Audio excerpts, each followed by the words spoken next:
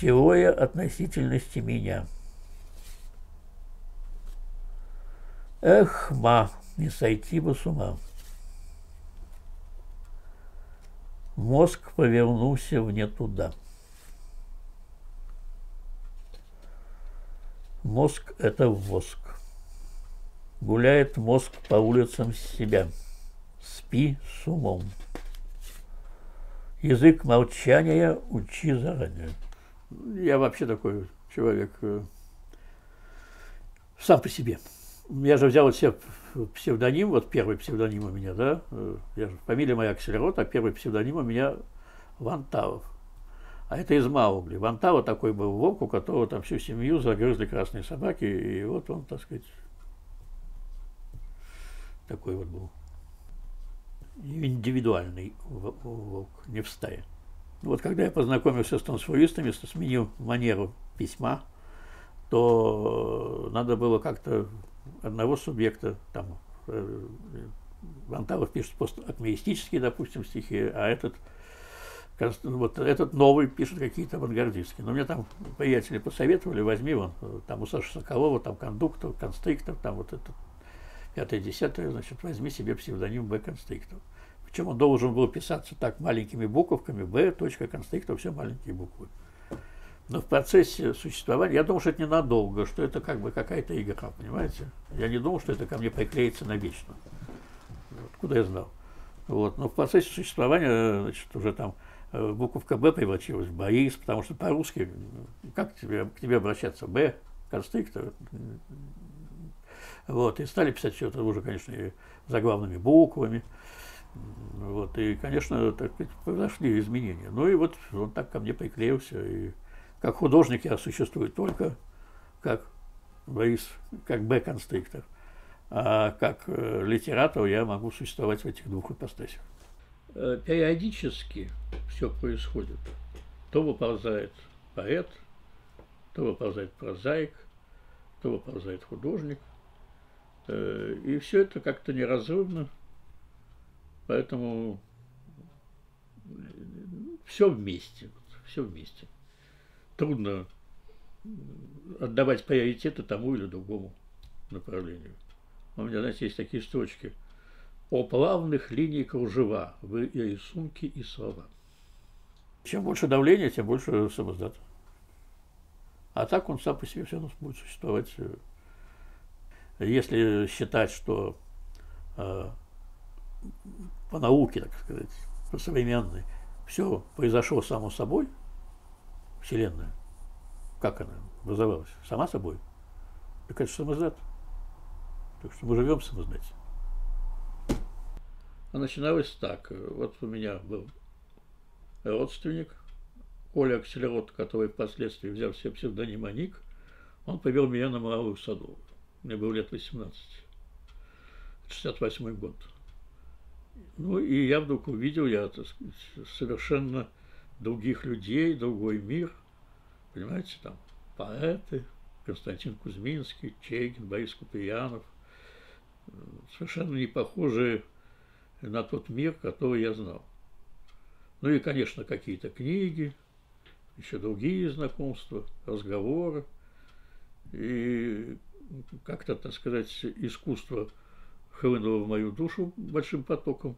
И первое, что я стал делать, я, чтобы как-то себя выразить, рисовать шариковой ручкой.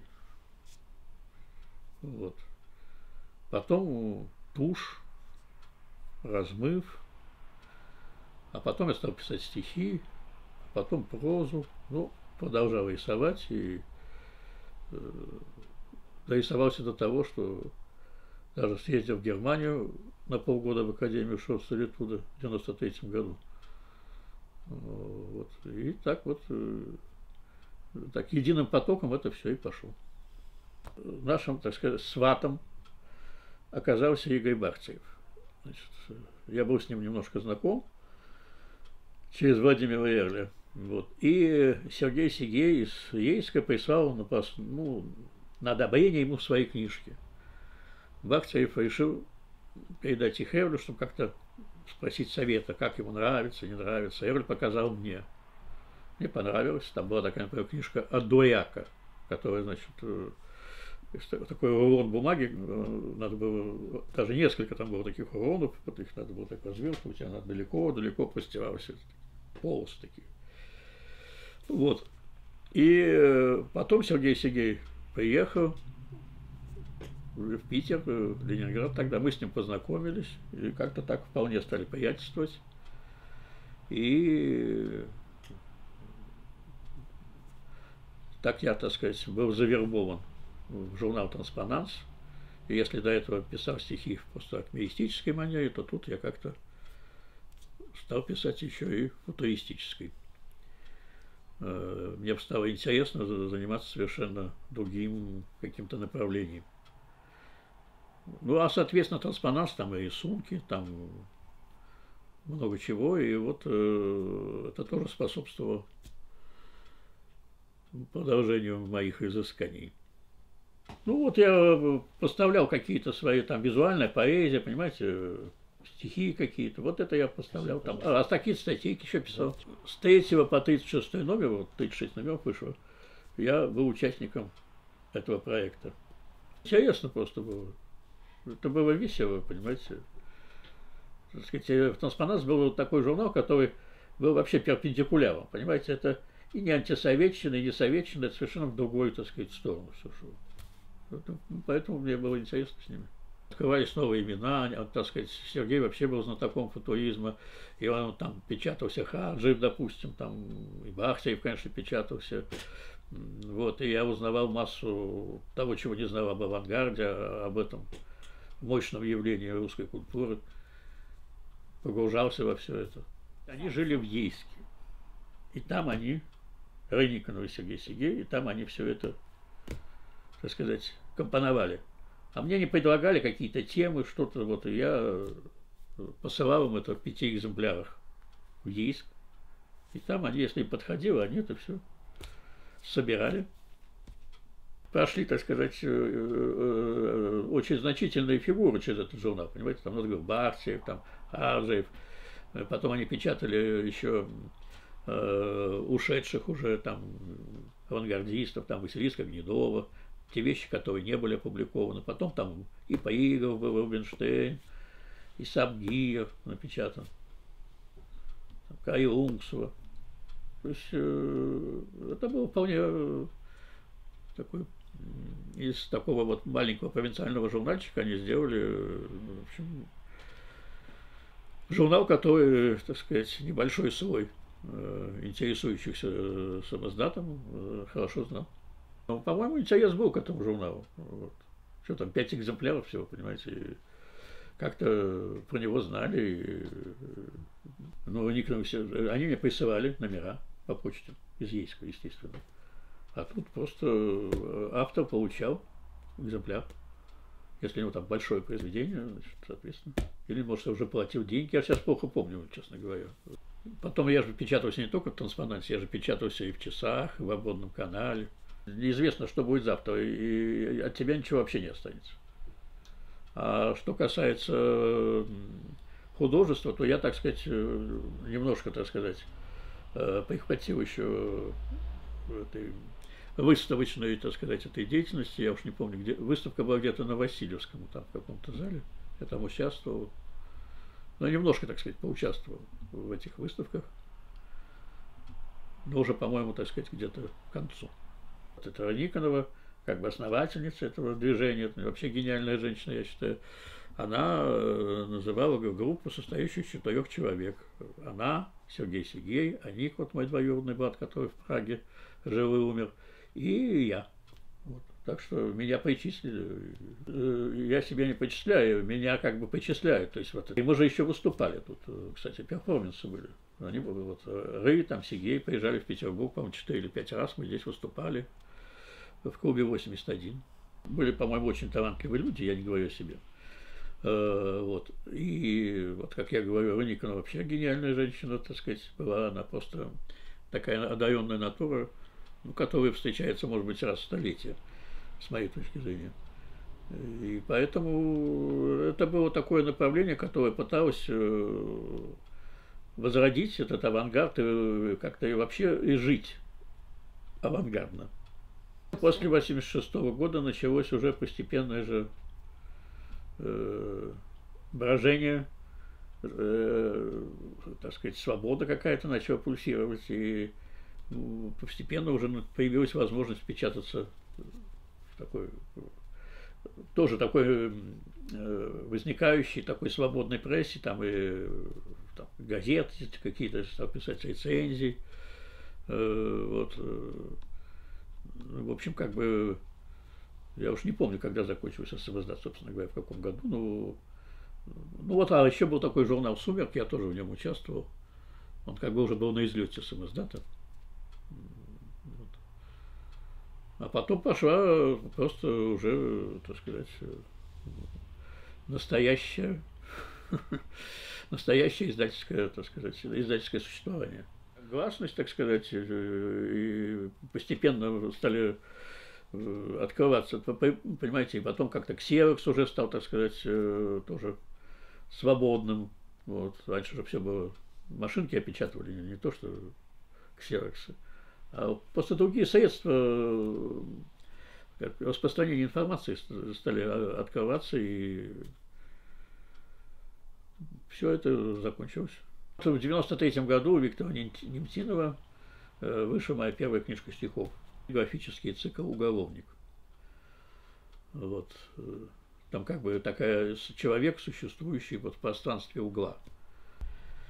Вот. Ну и вот так вот стал потихоньку печататься. И в журналах там каких-то.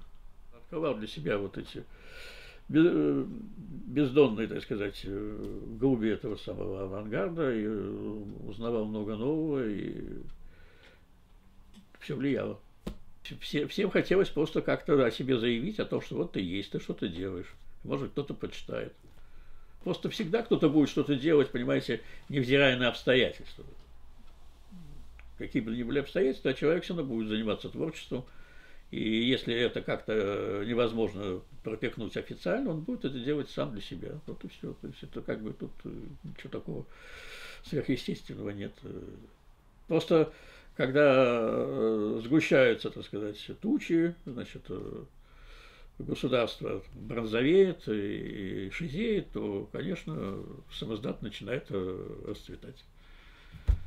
А когда все хорошо, так можно печататься спокойно. Часто, понимаете, куча издательств там, по радио говорит, пожалуйста, 20 тысяч, книжка, 200 экземпляров, типография, призывают печататься. Но тогда все-таки был какой-то отбор, понимаете, они же не печатали вот так вот, э, что не попади. Было, должно быть какое-то определенное качество. И Борис Иванович там был более лояльным, Иванов там хотел отобразить, так сказать, срез литературы. А вот обводный канал они уже отбирали. Вот, а Никон и Сергей Сергей, они, так сказать, искали такие авангардные формы проявления человеческого духа. Флер романтики какой-то был, конечно. Э, тут, э, знаете, читать запрещенную книжку – это еще 50% э, авторского успеха, который тебе дали на несколько дней. Это не то же самое, что читать просто книжку, которая у тебя лежит и будет лежать там сколько угодно. Такой был Гева Гайгоев, и он э, продавал э, значит, Набокова э, приглашение на казнь. И она там, ну, ее в напечатали такие синие, синий шрифт. Вот, я вот это помню. А потом уже там, конечно, читал все. И, там, у меня приятель такой был. Большой писатель и художник, и, и как э, и фотограф Борис Александрович Кудайков. Вот он когда давал в Тарханова, там, говорил, чтобы никто не видел. Если увидят, то тебя вместе с этим вагоном метро сразу в печку. Так что, понимаете, как тоже сейчас читал с большим трепетом. По-моему, любой, э, так сказать, э, прозаик поэт хочет быть напечатанным, увиденным, услышанным. Так что другое дело, что, может быть, э, э, кому-то интересно еще как-то себя выразить. Вот мне надо просто все время чем-то заниматься, понимаете? И вот я занимаюсь этим таким рукоделием. Ты ушел в одиночество, как в разведку боец. Потерял имя отчества, стал мертвец наконец. Видишь зверя дальнего, силуэты людей, карнавала печального, мельтешение теней. Чтобы печататься, знаете, надо набрать какую-то массу, да, там, стихов там, или прозы, то есть и понять, что вот это какой-то этап, и это есть смысл, так сказать, делать отдельной книжкой, да, которую, может быть, какое-то количество людей все-таки прочитают. А что касается вот э, своего, так сказать, домашнего творчества, то здесь просто это рукоделие, которое, э, так сказать, не требует от тебя никаких обязательств, а просто это твое вот э, личное вязание, скажем. Вот. Попадается мне какая-нибудь книжечка такая, вот, и, и мне хочется ее как-то запомнить. Я и занимаюсь. Понимаете, этот момент такой почти бессознательный. То есть э, никаких э, у меня не, замыслов нет, понимаете. Вот. А в процессе, так сказать, этого э, изготовления вот, ты начинаешь понимать, что ты хочешь сделать то то или это, вот так постепенно. Осмышля, осмышляешь в ходе, так скажем, высокопарного творчества. Во-первых, э, кто-то увидит, лишний раз почитает мое стихотворение, а кто-то посмотрит на мои рисунки, и, что ж, я, ну, так сказать, а может быть, вдруг какой-то найдется вообще сумасшедший и купит. Тоже неплохо. Я просто вот что придет в голову, что мне кажется подходит, картинки бывает, я бац, вспомнил, ага, а вот картинка такая получилась, а тут еще есть стишок соответствующий, а может быть к стишку картинка, э, и так одно за другое. Вот, э, ну вот, бывают какие тематические, конечно, тогда, ну тоже я пишу туда стихи, э, значит, э, подбираю скорее, так сказать, не пишу специально стихи, вот, а подбираю те, которые, на эту тему, которая у меня есть. Душа постигла, наконец, свободу. Мизинец упирается в ничто, хотя еще льют чувства воду сквозь мозга слюдяное решето. Чудесно быть, когда почти не дышишь, орнаментом становится мираж. Мысль неподвижна, шорохов не слышишь, так слепнет в сумерках витраж. Ну, я говорю, что самоздат вечный, так сказать. И вообще все мы, как я уже сказал, самоздат, если верить науке.